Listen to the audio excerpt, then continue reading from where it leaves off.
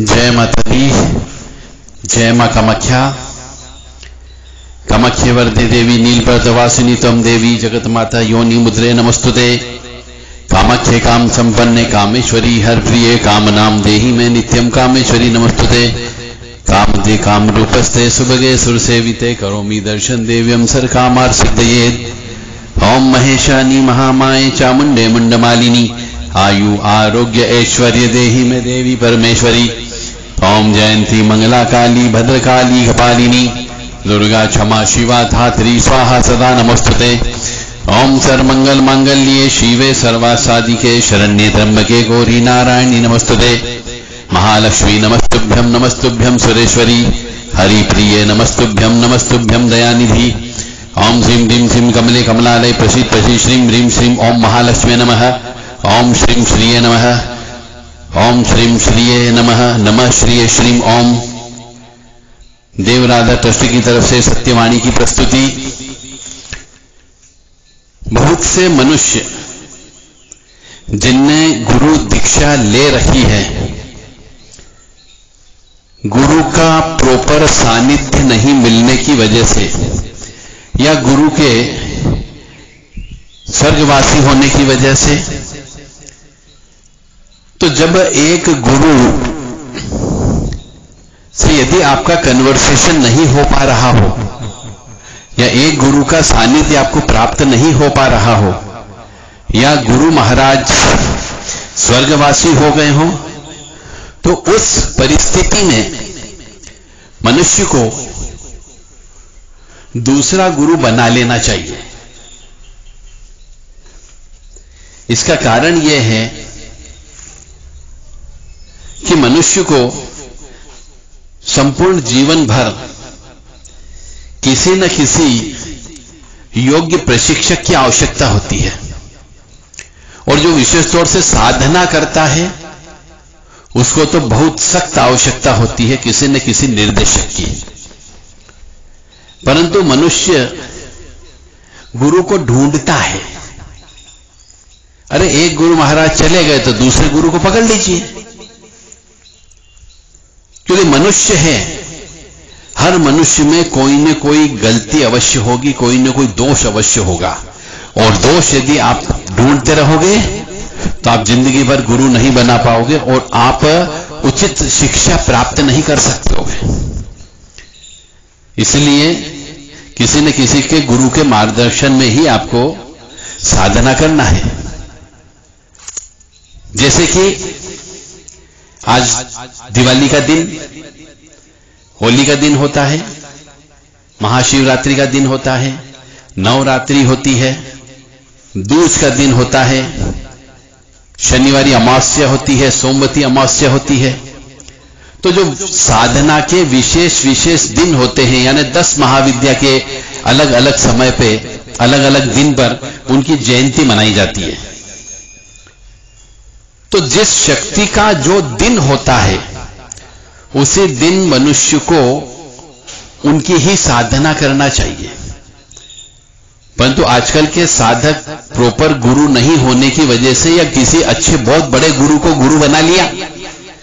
परंतु यदि गुरु आपको सही तरीके से डायरेक्शन देने में सक्षम नहीं है या उनसे आपकी बातचीत नहीं हो सकती, इतने बड़े गुरु से आपने गुरु दीक्षा ले ली। ना तो उनसे फ़ोन पर बात हो सकती है, ना आमने सामने जाके बात हो सकती है और ना आप उनसे मिल सकते हो। तो आपकी गुरु दीक्षा अधूरी रह गई और मनुष्य को ऐसे को गुरु बनाना चाहिए जो आपके पास उपलब्ध हो। आपसे बातचीत हो सके, आपकी समस्याओं का समाधान कर सके। तो जैसे आज दिवाली का दिन है तो मनुष्य को सिर्फ़ महालक्ष्मी से संबंधित ही साधना करना चाहिए। जो भटके हुए बहुत से साधक हैं, वह कोई मनुष्य आज हनुमान जी की साधना करता है, कोई भैरव जी की साधना करता है, कोई काली माँ की साधना करता है। तो मैं इनको सबको बोलूँगा भटके हुए साधक। जिस शक्ति का जो दिन निर्धारित किया गया है उस दिन उसी शक्ति से संबंधित जप, तप अनुष्ठान करना चाहिए, ताकि आपको उनकी कृपा प्राप्त हो सके।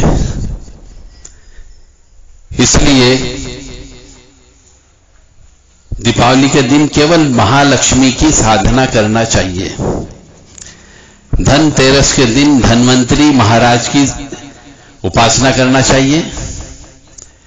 चतुर्थी के दिन यम देवता कुबेर जी की साधना करना चाहिए धन प्राप्ति के लिए।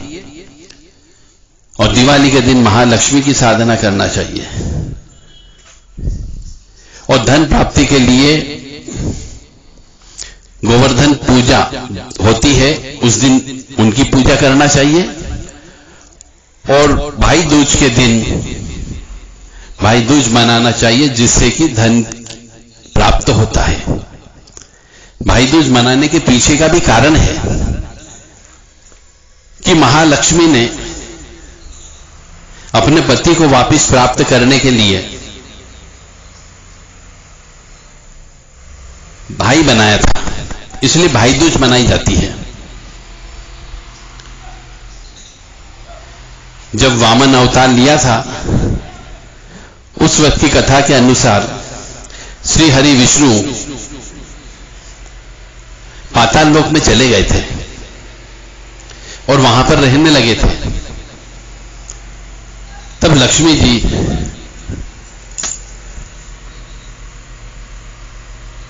उनको वापस लेकर के आई थी। तो ऐसे विभिन्न पुराणों में कथा है। तो इन पाँच दिन में अलग अलग देवता की उपासना करके आप लक्ष्मी की प्राप्ति कर सकते हैं। तो लक्ष्मी प्राप्ति के लिए पहले दिन धनवंतरी भगवान की पूजा होती है, दूसरे दिन कुबेर महाराज की पूजा होती है, तीसरे दिन लक्ष्मी जी की पूजा होती है, तराजू की पूजा होती है, सरस्वती की पूजा होती है, लेखनी और कलम दवात की पूजा होती है। इस तरीके से इन पाँच दिन, पाँच अलग अलग देवताओं की पूजा करके आप लक्ष्मी की कृपा प्राप्त कर सकते हैं। परंतु अन्य देवी देवताओं की सिर्फ़ पूजा करना है, आपको साधना नहीं करना है। साधना केवल इनकी ही करना है जो लक्ष्मी से संबंधित है। तो सभी से मेरा निमन, विनम्र निवेदन है कि भटको मत, सही राह पर चलो और सही दिशा निर्देशों के अनुसार चल करके अपनी अपनी साधना को संपन्न करें और लक्ष्मी की कृपा प्राप्त करें। क्योंकि जब तक लक्ष्मी प्राप्त नहीं होगी, आप पुण्य का काम भी नहीं कर सकते और नहीं साधना कर सकते। पुण्य का काम करने के लिए भी आपको लक्ष्मी की आवश्यकता होती है। इसलिए लक्ष्मी साधना अत्यंत आवश्यक है। जय माता दी, जय माँ कामाख्या जय श्री महालक्ष्मी।